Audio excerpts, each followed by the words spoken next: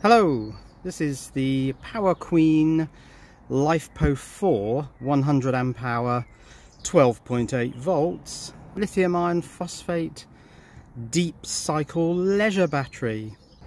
Now there's quite a lot to unpack there because um, lithium iron phosphate LiFePO4 has a nominal cell voltage of 3.2 volts so there are four cells in series inside this pack and four 3.2s are 12.8. So we know this is a 4S battery pack. Now 100 amp hours, we don't yet know whether this is uh, gross capacity or usable net capacity, but I intend to find out. Battery weight is 24.25 pounds which is 11 kilograms. And the dimensions are well it's 13 inches across there uh, 6.77 front to back and the height is 8.43 inches.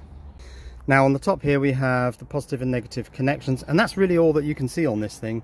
It is just a sealed box with positive and negative connections. So I'll just take these uh, plastic protectors out and um, I've got uh, bolts and bolt covers that go in there. Now you'll notice that it doesn't have standard uh, domed lead acid style terminals and that's because this is intended as a leisure battery it's not intended as an SLI starter lighting and ignition battery so don't try using this to turn a starter motor. So 100 amp hours, this is rated for continuous discharge at 100 amps. And you can also charge it at up to 100 amps. So I was thinking how best to test this battery. And so I came up with uh, this contraption which is a couple of very heavy current straps with M8 uh, ring terminals on there these recesses are M8 and the bolts you get are M8 and then these two bus bars which I can plug banana plugs into and put lots of loads in there. But in the manual um, it actually says that although the continuous discharge is 100 amps the maximum discharge current for five seconds is actually 280 amps. So how would I test this? Discharge it at 100 amps or load it up to 280 amps and exceed that five second spec. It's all a bit over the top really. So I thought I'd do my tests at a lower current. And there's a thing in the manual here that says when the battery stops working, uh, voltage less than 9 volts, it has a chance that the BMS has shut off for protection and you could try these various ways to get the BMS to turn back on for discharge that is um, cut off all the connections from the battery, leave it for 30 minutes, put a charger on it. But this one down here is interesting. Put a solar panel on it, um, 18 to 36 volt solar panel to charge the battery for a few minutes.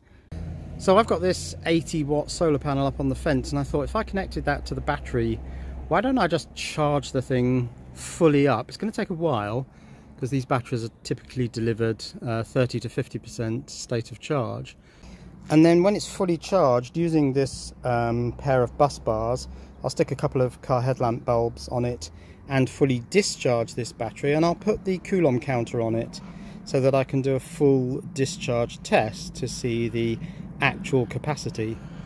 Now here I've got um, the supplied M8 bolts, bolt covers and I've also got these um, little connectors which I can use to convert uh, these to banana plugs and I've got some banana plug cables. So I've put the first meter in uh, voltmeter mode across the battery and we have a resting voltage of about 13.1 volts. And there's something quite interesting in the manual. And that's this diagram here which um, is state of charge. And they say you can get a rough indication but they do caveat that with this is not a very precise way of doing because lithium iron phosphate has a very flat center part of the curve so it's very difficult to estimate state of charge from voltage. But going by this 13.1 volts says 40% state of charge and these batteries uh, say they come somewhere between 30 and 50 so that sounds about right. But let's get the solar panel now connected up. Now this is going to take quite a long time. This might take a couple of days incidentally I do plan to charge this until the BMS shuts off. So I'm actually planning to test the um, cell over voltage cutoff then do a full discharge and measure the capacity of the battery um, until I get a low voltage cell cut off and then in a separate video I am planning to dismantle this battery even though the manual says don't do it. But I think we'd like to see what's inside wouldn't we right the sun's now on the panel and pretty much on axis although not vertically it's on axis horizontally. This thing's angled down really for winter. And uh, yeah we got four amps coming from that panel. And the voltage is up to nearly 13.4 okay here's a better solution. 160 watt flexible folding solar panel which I can move around with the sun. And now I'm getting 6.2 amps and 13.36 volts. It's around 2 p.m. now. The solar panels have been moved around with the sun and we're still getting uh, 6 amps. So I think that's a cloud cloud going past. Um, and the battery is now at 13.5 volts. It's the next day and I've got uh, the solar panel pointing towards the sun. We're actually getting 6.8 amps the battery is up to 13.57 volts now there's going to come a point where this flat phase of the charging uh, finishes and it starts to shoot upwards in voltage. I'm not quite sure when it's going to be. But what I'm planning to do is go with the over voltage disconnect. So I'm going to let the battery disconnect at 15 volts. Now 15 volts is 7.5, 3.75 volts per cell, which is a little bit high for lithium iron phosphate, but not dangerously so, and not if it's only for a few seconds. So yes, I'm actually going to uh, wait for the current to drop to zero and see at what voltage that happens and hopefully I'll be out here to catch it on video. Now normally you wouldn't allow this battery to be charged to 15 volts.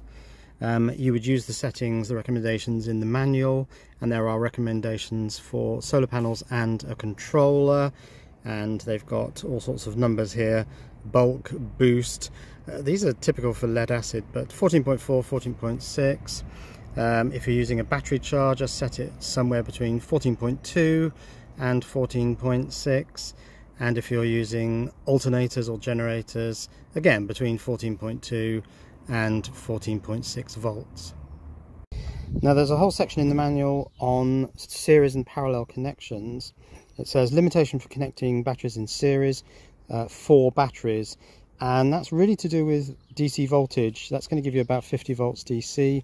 If you go much higher than that, then you're starting to get to voltages which could present um, a danger. They say the limitation on uh, parallel connection is also four batteries.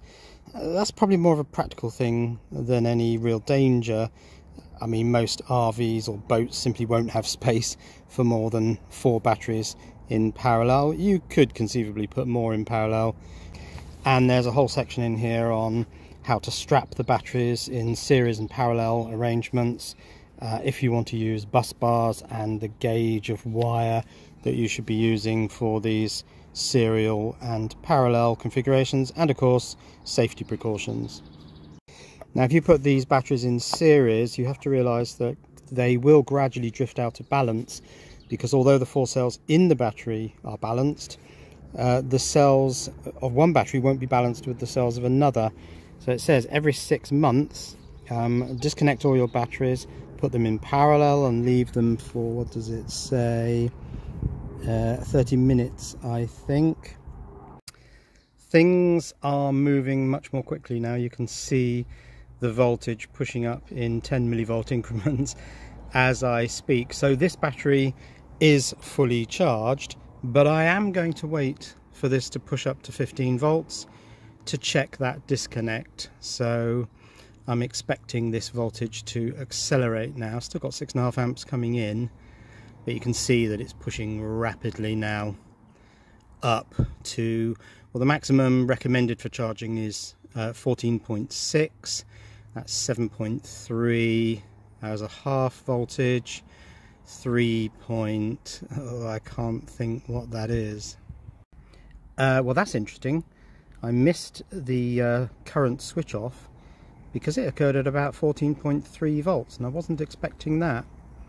I was expecting this to push up absolutely to 14.6 and then cut off at 15. It's cut off much earlier than that. So what you can see now is no current flowing from the solar panel, which is open circuit, into the battery, and the solar panel's open circuit voltage, which is 19.3 volts. Now, the reason this stopped charging well below its maximum voltage could be cell imbalance. If one cell has pushed very high long before the others, that could be a reason why it's cut off early.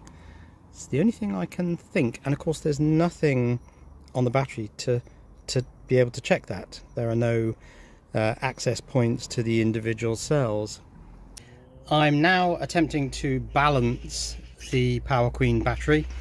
Now I've been told by PowerQueen that the BMS balancing current is 35 milliamps plus or minus 10 milliamps and it only occurs during charging and it happens when the cell voltage is between or above 3.525 but of course at 3.75 the BMS shuts off charging so it'll only happen within that range so I've set up a power supply and I've set it to 35 milliamps. It's actually showing 47 because it's not very accurate down at this very low end. You can see I've set it to 35 milliamps 15 volts. And the battery is drawing what's indicated as 47 milliamps but I think there's very little resolution down at this bottom end. The battery is now at 13.58 volts and I will leave this set up um, and just see how high I can get the battery voltage to go. But at um, 35 or 47 milliamps this is going to take quite a while. Now doing a full discharge test after attempting to balance the battery. I'm not sure how successful that was but let's do the discharge test anyway. So you can see I've got my high current rig with car headlamp bulbs uh, they're actually wired in series so they don't get excessively hot and bright and I've told the uh, Tech monitor that the battery is 120 amp hours. That means I can see how far short of uh, zero it gets to. And currently it's saying it's down to 119 and the battery is at 99%. So we'll take that all the way down. The little monitoring unit is independently powered actually by that power bank up there. So even when the battery cuts off the monitoring unit will stay on. Some hours later and we're down to 57 amp hours. Now I don't really know where it is in the sequence. It should go down to 20 amp hours because I started at 120 amp hours.